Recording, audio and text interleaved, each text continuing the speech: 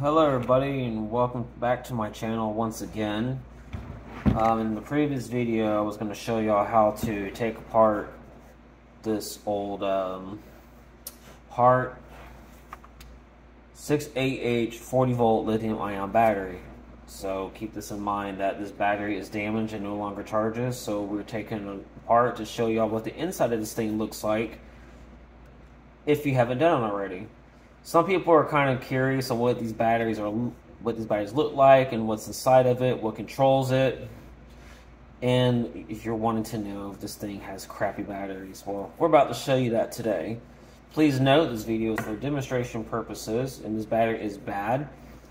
And uh, Hart does not put warranty stickers on these, so if you have to take it apart, feel free because the reason why they don't put warranty stickers on these batteries is because they don't take them back. They just send you a new battery with no proof of purchase as far as receipt.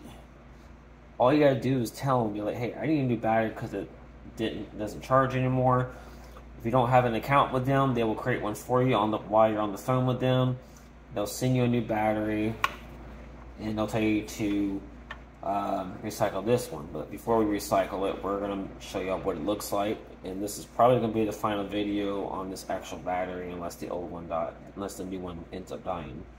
But right now, it is still charging. Alright, so let's get started. We're using a star bit. I don't remember what size it is. Um, need to get a new set though, because this came off an actual... Actually, I might have the size of this one.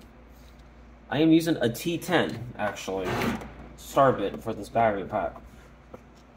It does take two hands because these screws takes a little bit of you got put you got put pressure on them and turn them at the same time while you're holding the battery. We're no, we don't we don't care now. We, I mean, we, we don't we're not worried about losing these screws or anything, which I will keep them for like replacement screws as long as they're not damaged or all eight up the hill.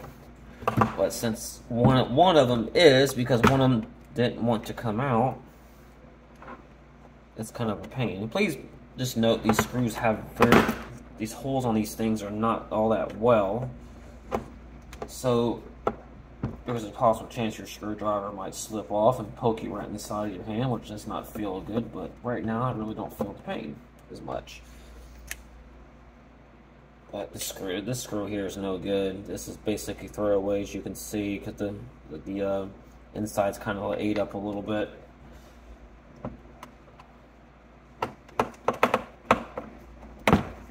So just so you know, there's actually four screws. Turn around. There's actually four screws that holds this thing on. The, the other four screws on the top of this for the for where the switch is and doesn't have to come off. and that's just, I think that's just to access the wiring panel, but we'll take that apart too and show you. I haven't took that part part off before. I just took the battery out last time. There's the other screw. That's the third one. I don't know if all the batteries are like this, but I know that most of them are Starbit, which is the T10. If yours has Phillips all the way around it, then you might have it either an older or newer version. I don't think that matters, but I think the one part of this battery that takes, I think, yeah, no, all these are, besides on the middle here for this, for this, for the, I guess where the wiring is, these only take four Phillips and four T10 star bits on the outside, but you take the four T10 star bit screws out to open this main thing up to take the battery out. And now since it's loose, as you can tell, the um, cover is off and this is what the inside of your battery pack looks like. And as you can tell, there's the chip and everything here. And um, right here, this little thing here, this is what this is what's called your fuse. If this thing actually blows, the whole unit is actually done. And here's your pins right here um, that that uh, charges it.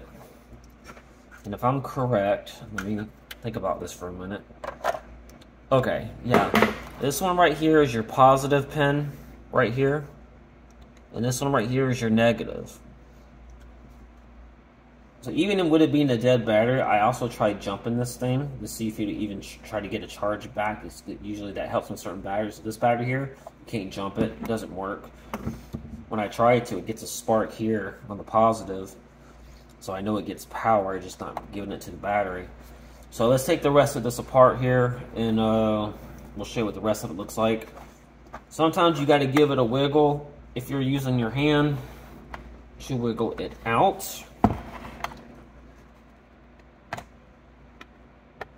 Like most cases, I'm just going to use a flathead because it's already damaged. So I'm not going to get too much detail about taking this and trying to pull this thing out.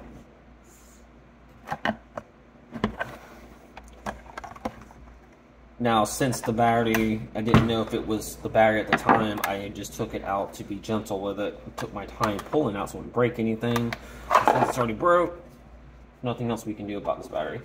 Here's the back, here's the bottom cover that the battery sits in. It's just a piece of plastic. There's no metal, no rubber pieces holding this in. It's just one of those things you have to just wedge it out like this.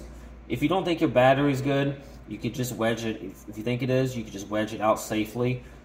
But see, when I first took it apart, I was like, oh crap, this thing don't have a warranty sticker on it. And I'm like, maybe I shouldn't take this apart yet. so I didn't take it apart until after I called them to get my replacement just to be sure. But when I asked them, they said, nope, nope, there's no return required. You don't need the old one back. So, and that's probably why they don't have uh, warranty stickers on, on these things. But here's what the batteries look like. Now, I am not a professional when it comes to these batteries.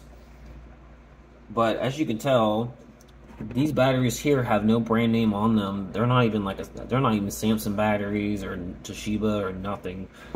I would thought think that if they would have Toshiba batteries like some rechargeable batteries have for certain tools, I think this thing would probably last a lot longer. But if you count, I mean, they say this is a 40 volt, but I'm I'm thinking this thing is a lie because there's like let's see, there was like 1, 2, 3, 4, 5, 6, 7, 8, 9, 10, 11, 12, 13, 14, 15, 16, 17, 18, 19, 20, 1, 2, 3, 4, 5, 6, 7, 20, 20, 30. There's 30 batteries on the inside this whole entire unit.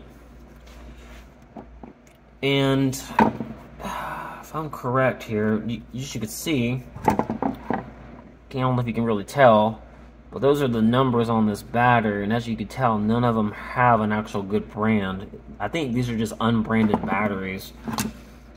So you know it has 30 batteries, so you do the math, I was told these things are not really 40 volt. I heard it's a little more than 40 volt, but I could be wrong. Like I said, I'm not a genius with these. I don't create them. I know about cars and computers, but when it comes to these things, this is all new to me.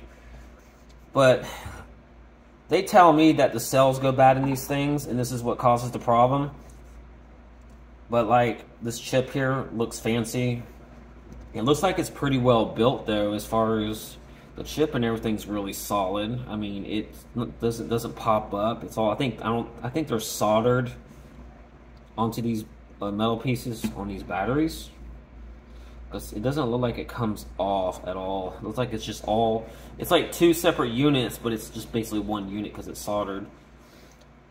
Sometimes I wonder, I don't know about y'all, but I wonder if sometimes these things are just bad and the batteries could be good. Or if this fuse goes, it just kills everything. Or maybe the batteries are bad and this is good. Or maybe the whole unit's just freaking screwed. I don't know. They claim it's the battery. So I, I, so if that's the case, if it is the batteries that are bad, I'm assuming that this thing probably lasts longer than the batteries. And I guarantee if this thing was able to come off and be replaced onto another battery, if yours actually broke, it would actually save you money to be able to just slap one of these onto your other battery that went bad. Well, if the battery's not bad, I'm talking about the board itself, the motherboard. If the motherboard's bad on one, you think you could just replace it, but it doesn't look like you can, so you'd be shit out of luck there. But it actually looks, I mean, me looking at it, looks like it might pop off. I guess we could find out and see. If it breaks, then I know it's not meant to come off. It doesn't break, like I said, we're just to look and see. I know all y'all are probably wondering that why are you doing that for? Just for I'm just doing it for for shits and giggles. Use my language. But I'm trying to show you all this as professional as possible.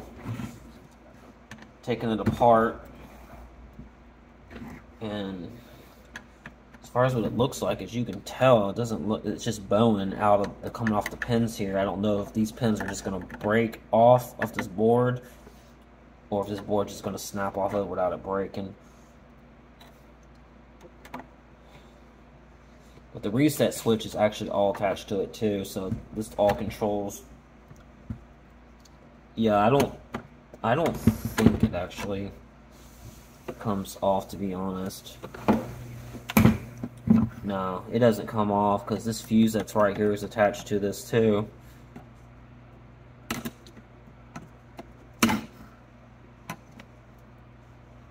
So, yeah, see, don't want to do that. So that tells us right there that this thing still has a little bit of power left in it. So, at least we know that. I already had a feeling it was going to do that. So, that just tells me right there it still has a little bit of juice or still has power in it. Because I've never seen this thing actually go down to, one, to like zero bars and not light up at all, but that's what it does now. But I'm actually surprised it still has a little bit of power left in it. So that tells us right there that this thing does not come off. I did that for a reason, so don't think was don't think it was kind of it was kind of stupid. It was, but I already knew it was going to happen. Like I said, I just wanted to show y'all what it actually does. All right, so now we know that this thing doesn't come off. We know they're attached to these batteries. But if you do end up wanting to be a mastermind and you want to get this thing off yourself, I would wear some actual protective gloves because I have no clue with these if, you, if this actually does break off of the batteries. I don't want you to have acid everywhere or leak over your hands, burn your skin. You have to go to the hospital or whatever. So that's the furthest we're going to go with it. We know it does not come off. Um, like I said, this thing looks fancy. It's still got some weight. It's still still pretty heavy, even without the case. So if you want to put it back in the case, you just basically just put it back in like that. Slides in piece of cake. Slap this back on. There you go. Let's see if this thing still works. yeah, see, it still shows that light though. So we know it's got some juice in there. But that is the 40 volt 68H Hart battery for the Hart push mower. I do not recommend buying these batteries because they're just a waste of time, waste of money. I've had comments on my channel. People say batteries are a piece of junk, and I do agree. These batteries are a piece of junk. And I'm gonna tell you right now, if you want to get a good, if you want to get something good, stay with gas. Get you a gas lawnmower. Do what you got to do. Because I actually bought one right over here, actually, and I, will actually show it to you. This is. Oh, hold on. Shit. Anyway, that is the push mower that I got from a friend of mine at work. I only paid like. Um, 20 bucks for that thing. Alright, so. Like I said, that's the battery. If you have any comments or questions about this, feel free to comment. Um, please note, when they do send you another battery, it's going to be the same exact model, and it could be nothing new or anything older. If you have any problems with your battery within the three-year warranty, get it again because I'm hoping eventually that the company will actually get a clue and be like, well, we're having too many problems with these batteries, so now we're not going to sell the lawnmower anymore. So now we got to figure out ways how to enhance these batteries, make them last longer than what they, what they are, what they than, than they are. Because if we don't make them last, nobody's going to want to buy them. So we need to figure out what we're going to do because that's what's going to happen. They're going to have too many complaints on these batteries eventually. They're just going to stop selling them in the in that particular lawnmower. Now when it comes to the newer and the better Hart lawnmowers, like the ones that are like three, four hundred dollars, I don't know if those batteries are any different as far as charging or if they last longer. Um, if you want to tell me about that in the comments, you feel free. I don't care. Um, but I see, I wanted to get the bigger one at the time that had the lights and everything. But I'm like, now let me try the cheaper one, see how it works. And now I experienced it in a bad way as far as this. Now it comes with a three thousand dollar riding lawnmower. I heard a lot of people say, "Oh, lawnmower is good, but the battery only lasts thirty to forty minutes." Why would I spend two to three thousand dollars on a riding lawnmower that's rechargeable? I can get a gas powered lawnmower for the same price at Lowe's or Home Depot and be happy with it. Get the whole yard done in one all, all in one day. I can with a gas push mower too. So, oh yeah, by the way, there's the status of the new battery so far. So, so far it's still charged and doing pretty good. I hope this video helps on these Hart Lawnmower batteries. Feel free to comment and y'all have a great day.